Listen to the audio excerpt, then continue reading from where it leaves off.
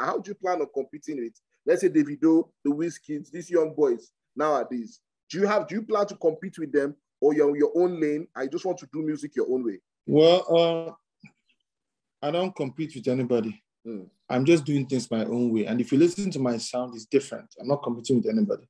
Okay. I just want to tell stories. I just want to do things my own way. No competition. I intend to have some collaborations with some of them if they want to. Um, so no competition at all because everybody gets your own destiny. Mm. Do you understand? So I just want things to flow. Why is my father being celebrated here, but not in Africa? Mm. Do you understand? Mm-hmm. To the extent that I was in I was in, in, the UK and they were playing one of his songs, Hypertension. Mm-hmm. Hyper, hyper, hypertension. Yeah, yeah, song, yeah, right? yeah, yeah. And the DJ, I, I was like, the DJ was like vibing, everybody was like vibing to the song. People were holding themselves, hyper, hyper, and they were all dancing, you know, and stuff. So I told the DJ, uh, that's my father. He said, Yeah, you wish, right? You wish you said that. this guy is the funkiest guy I've ever seen in Africa. Also, um, to to have like a William Onyeabor Day in Enugu, a day we celebrate him. Mm. Okay, because I think he is the Fela of the of the Eastern region. Mm. Mm. Yes. You think so? I know so. Okay. Okay. I, I, I like I that. So. I like that. Because I I I I I I, I see how he's being celebrated outside the country. Even though we don't really appreciate him in Nigeria, which is normal, but he's been celebrated here. Allora, grazie a tutti i miei fans, eh, mi seguite su Facebook e Instagram, eh, mi chiamo Charles Onyeabor, mi potete seguire su Instagram e grazie a tutti che seguono il mio babbo, William Onyeabor, e grazie mille.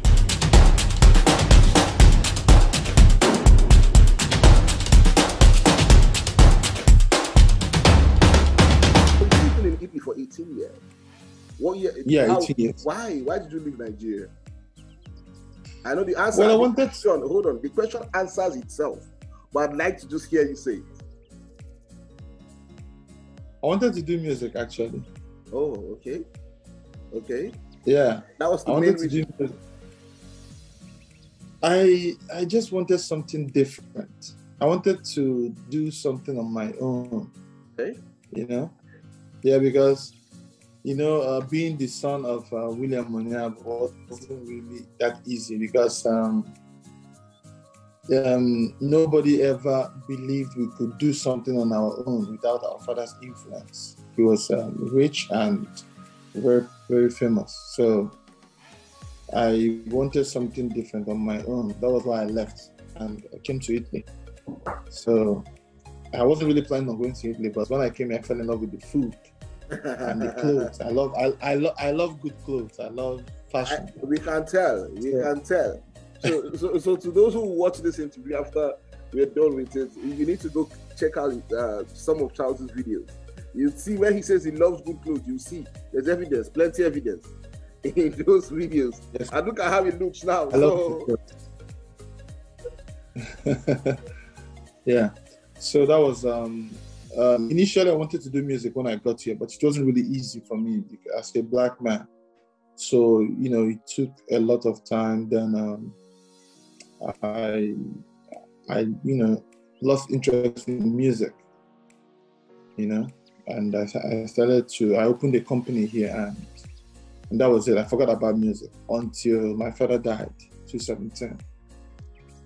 So um, during the pandemic, I was kind of, you know, we had this lockdown. Everybody, uh, you know, sit at home. We're all at home and stuff. That was when I had. That was when I had time to reflect. You know, I started thinking about things I should have done, things I should be doing. I thought about my father's legacy and everything. So that was when I had this wake up call to to start doing something I love. Mm. Then I wrote um, "They Can't Pull Us Down." Okay. And that song was inspired by you know the circumstances around me. People are, are trying to to pull pull me down. So and it was and initially it was about me pulling me down before I had to generalize it because uh, in one way or the other we we're always somebody wants to pull us down one way or the yes, other. Yes, one way or the other, yeah. Yes, so that was when I had to write this song, arranged it, and I had to shoot the video in my own house inside my compound. Yes. Okay. And I wanted it to be a one, you know, uh, one-time thing, but mm-hmm. see me here doing music. So, okay, let the legacy grow and continue, father, our father's legacy. So that's it. Yeah, yeah, yeah. So, so basically, it's, it's almost like a story of you know destiny delayed, not denied at all. Yes, yes. Interesting. And I believe uh, God's time is the best. Some some people tell some of my friends be like, "Ah, Charles, so you get this talent, you don't do anything all this while." I'd be yeah. like, "Well, God wants me to do it now, okay? Because maybe if I had done it far back, maybe." Uh, I would have made money, I would have squandered it or something. So, but now I think I know what I want to do, what I'm doing. Mm. So, I, I agree. I agree. Because, like I said, it, it, coming from such a background and knowing, would you would you say that your father being who he is was was that where the influence to do music came from, or you feel like it was inbuilt? You had always wanted to do music. Like I know you went to the to the, to Italy for music, and we'll talk about that in a bit. But I, I just want to know about the influence. Like your what what why was it music? Why didn't you say, okay, you know what, I want to play football. I want to go into business like my father or something. Why was it that that music was the cool? Okay, that was what you, I think, wanted to do. I think it's something inbuilt because even right now, sincerely speaking, I'm still surprised that I could write songs. like I never knew I could write songs okay. until I started trying to do it. So um, you hear voices in your head ideas coming into your head. And my mom, okay, let, okay, let me just tell you a story about how I wrote my first song. Okay. My first song happened this way that um, I had a, you know, I had this voice coach, Miriam Taylor. Miriam Taylor, she, she was my voice coach. So she was like telling me how, you know, I, you know, I could start music and stuff like that. So I said, okay, but I don't know what to do, how to start. She said, okay, what kind of song would you like to do? I was like, um, anything funky, old school, blah, blah, blah. She was okay, I'll talk to a producer so they can make you a beat. So they made some beats and they sent it to me. So I had to choose one. The one I chose for They Can't Pull Us Down, my, my debut single. Now, I know Sabi I could talk for that song, bro. like, I don't know. So I had to send it to my younger brother mm-hmm. because he, he sings. Okay. Okay, but he's he's into gospel music. Mm-hmm. I sent it to him. I told him to write. So he was like, he's going to write me something, but it's going to be um, gospel. I said, yeah. write me anything. Come out all Jesus way down. All of them are still music, you know. So, like, then I said, apart you're not talking anything bad, just you know, why don't you talk about life or something? Mm-hmm. He was like, well, his inspiration comes with you know Bible, blah blah. I said, okay. I waited for my brother for like three weeks he didn't send me anything. so my mom by then was here with us during that pandemic. So we're all at home. So I, I, I, had to put the beat and it was playing and I was um, playing with my kids. Uh-huh. So I started, I looked at my mom and I was like, Tell me how you feel right now. Mm. The more you look to let you see. My mother was like, Hey, Charlie, Write it down, write it down. I was like, write it down. What you just did, you went with the beat. Do it like your father. Write it down immediately. I was like, how? Charlie, write it down. That was when I had to write it down. Mm-hmm. And that was how it started. That's how it started. In wow. less than in less than 10 days, I was able to construct something. Hmm. Then I went to the studio and I had to deliver. So when I came back home, I was like, I was kind of surprised. Like I could do this. Okay. Then I had to listen to the song over and over again. Then I went back to, you know, for some amendments and everything. And I was like, okay, let me shoot a video. We still had this lockdown. We couldn't do anything. Okay. So um, I then found a way to shoot a video. I invited my friends for, for lunch. Yeah. And they came for lunch. And they saw cameramen. They were like, a guy, what's that happened? say, brother, I do new song. I want to do video. They're like, ah, you, you, you sing. No, no, no, no. So when they heard this song, they were all surprised. And that was how I shot, shot the video and did it. I, I could tell there was a there was a homely feeling in that particular video because you know you can tell when people are acting, or you can tell when it's just a gathering of friends. There's food, and everybody's just you know relaxed yeah. and chilled and everything. So I, I think you guys got that particular that vibe. You got it. You got it well. So share this story now. It was something inbuilt, and um, because normally if, inbuilt, if thank God for your mom who was there, probably you must have been doing this thing in the past.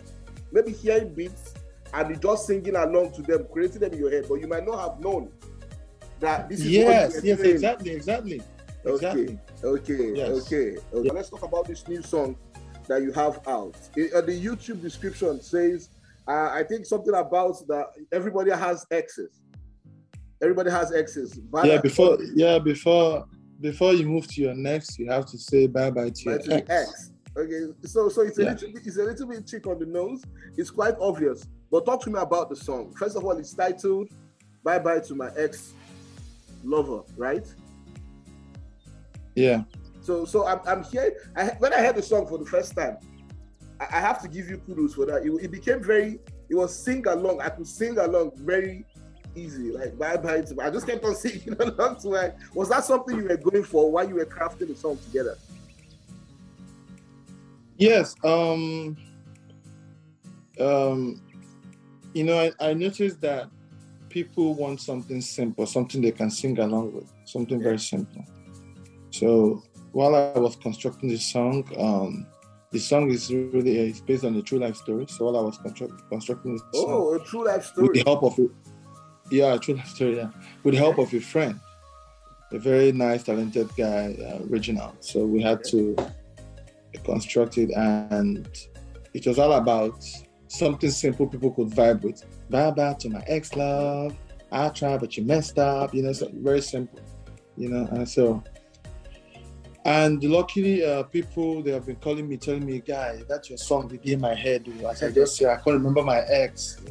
get one big way, get one big why I won't play for. The other one say, get one guy why won't play for. You know. Yeah, so yeah. I, I, so it is really working. Just the way the way I wanted it. Yeah. So so is that mm. a, is that a regular thing for you?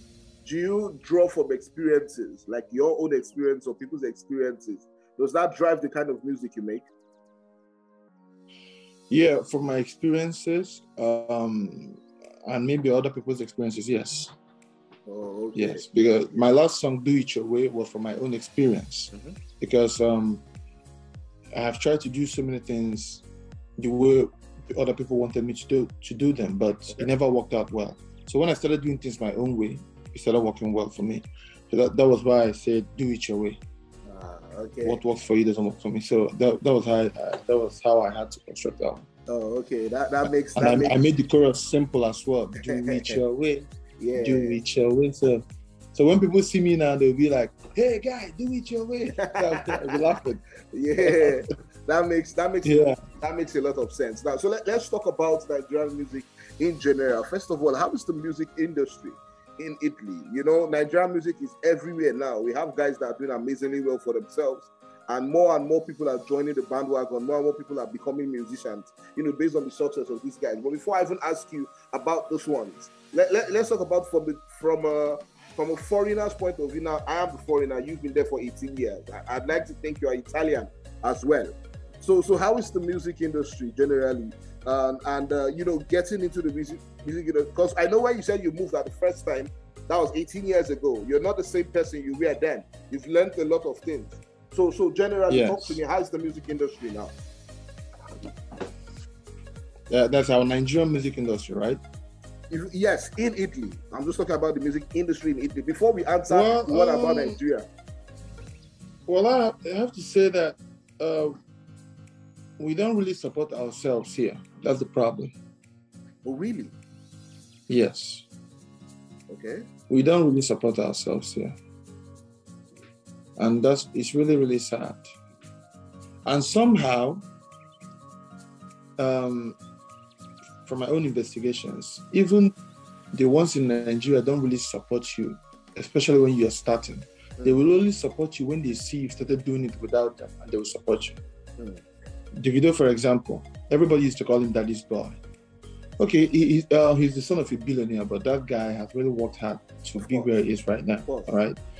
So now everybody was kind of criticizing him, saying all the blah blah blah blah blah until he started doing like doing things the way he's doing it now, and everybody joined. Okay, so over here we have so many talented Nigerians here, you know, um, but you can't really get that kind of support from our people. You know, for example, um, when there's a kind of show and you tell some Nigerians here to come to a club and pay like 30 euro, 40 euros, they're not ready to do that. Some most of them. I'm not saying that they're not, yeah. we don't have guys that can pay, but there's most of them that would prefer to spend that on just buying alcohol mm. than paying it for going to that club. No, they're, they're not ready for that. Mm. So, but we need to start supporting ourselves to grow. Because here, even before I started now, huh, there's so many talented Nigerians here now, many of them. Hmm. But you the know? problem, the problem is just the lack of support from fellow Africans or fellow Nigerians. Yes, we need yeah, fellow fellow Nigerians, fellow Nigerians. We need to support ourselves. So because Nigerians are very, you yeah, know, when I'm Nigerians support you, mm. when Niger, Niger people support you, mm. huh, Niger Sabi make noise now. it's like just watch watch on um on Instagram. Yeah. You know when somebody comes against a Nigerian celebrity uh-uh. and Nigerians they against that celebrity.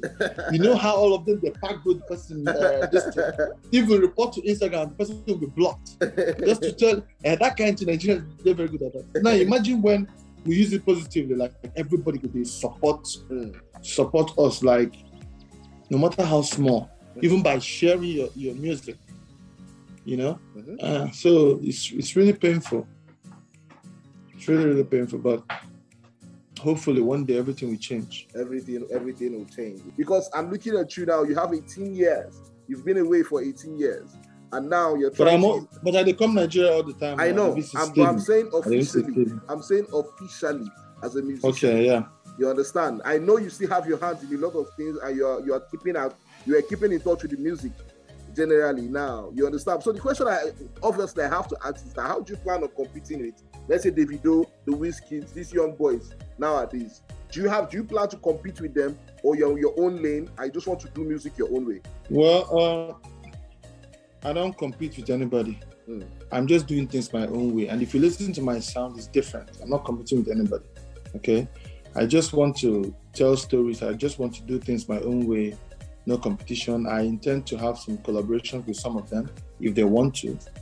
Um, so no competition at all because everybody gets your own destiny. Mm. Do you understand? So I just want things to flow. You don't want it to be so, forced uh, at all. No, I don't want to force anything. Like I have, I have other things that I do. I'm a businessman as well. So, okay. and uh, now um, an upcoming artist. Okay. So um, it's funny when you say it me. yeah, the thing is, uh, that's what now upcoming artist now. Mm. Know? So um, we hope that tomorrow will be better. Mm. Yeah, tomorrow will be better. I just hope that people will listen to this new song, Bye Bye to My Ex Love, because I think everybody has an ex, mm. one or the other. Uh, okay. So just um, it's a, it's a cool song actually. Okay. It's a cool song. I yeah. Agree. So how was growing up with a superstar as a dad? Yeah. Well, um being the son of um, a legend, mm-hmm. Sometimes you won't even know what you have until you lose it. Mm. Uh, I, I think I started knowing, I started to realize, you know, how blessed I was. I think when I went to, when I went to um, New York, that was 2014. Yeah. I went to New York and I went to, I was on holidays with my family. So, and somehow I met these these people, Luaka Bop. They're the ones managing our yeah, music. Yeah, yeah, yeah, yeah. David Bryan and them. So, uh, huh?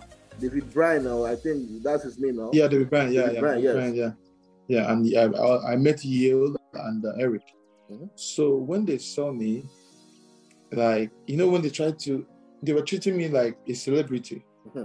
Snapping pictures with me. Hello, yeah, I'm William Onyeabor's son right now. Yeah, I'm gonna call you back. You know, like I was like, okay.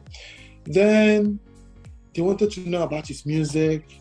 They appreciated his music and so many things, you know. And they started showing me videos of some shows in um, in America, um, sold out shows in the UK, and you know some of his T-shirts being sold and everything. You know, so I was like, oh, wow, why is my father being celebrated here, but not in Africa? Do you understand? Mm-hmm. To the extent that I was in I was in, the UK and they were playing one of his songs, Hypertension. Mm-hmm. Hyper, hyper, hypertension. Yeah, you know that song, yeah, right? Yeah. yeah. And the DJ, I was like, the DJ was like vibing, everybody was like vibing to the song. People were holding themselves, hyper, hyper, and they were all dancing, you know, and stuff. So I told the DJ, uh, that's my father. He said, Yeah, you wish, right? You wish you said that. this guy is the funkiest guy I've ever seen in Africa. So when he, when he said, I wish, I don't want defend. I don't want talk more again. I say, ah, look, I put my shut up. Do you understand? So, like, they were celebrating him. Then when he died, BBC, everywhere, you know, people said that they that, uh, that they had their wedding with William Onyeabor's song. Like people, so many testimonies here and there. And I was like, child, so I am part of this. And I didn't even realize how blessed I was. Then my friend called me from the UK and said, God, he saw some of my father's records sold for 600 pounds. Hmm. And he was telling the people that he knows uh, his son, and they were doubting him. Then he had to call me on video to see the guys. And they go, hey, yeah, you know, like, like that. So, and there was this girl from Czech Republic, my friend, we've been friends for so many years, and she said, Oh, Charles, listen, I want to tell you something really funny right now. I was like, okay. She said, I just uh, found out this guy. He's very talented, um, very funky, you know, nice song from the 70s, blah, blah, blah. I just added him on my playlist. But guess what? I said, what? He has your last name, like same last name, Onyeabor. I was like, okay, what's his first name? William. So, okay, that's my dad. No, no, that's not your dad. Do you understand? So, when I when I sent her a picture of me and my dad, she turned red. you know when you know when people when they are like yes, when yes. they are emotional, they, they, change. You know their color changes. So then uh, he did a lot. Mm. You know, and uh, while I was growing, I used to see him the way he writes songs, the, the way he, he, he would be in the bathroom and he would just come out, rush outside with his towel and come and write down something. Then he would head back to the bathroom. like, so then it's very. Uh, I also realized that the more successful you are, the more people talk, mm. like negative talks. Because while I was growing, people were saying that um, somebody came to his studio to, to record a song and he stole his song. That was when the going is smooth and good. yes. But many Nigerians know no say the man has so many songs. They thought that was his only song. Mm-hmm. Do you understand? Yeah. Yeah, they thought that was the only song. So now I released my debut single. They can't pull us down. The rumor everywhere is his father wrote that song for him and left it for him. That was how he was able to. That's what people yeah, are saying. Yeah, so just to tell you that when you are successful, when you are doing something, people must talk. Do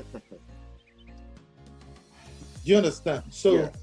um, I feel blessed even when they talk, because if if you're nobody, nobody has time to talk about you. Mm-hmm, so, mm-hmm, mm-hmm. yeah, yeah, it, it's it's fine. So I saw the documentary as well about when they were trying to find your dad and everything about how they were trying to get to him, and when they go to the house he didn't want to. He didn't talk.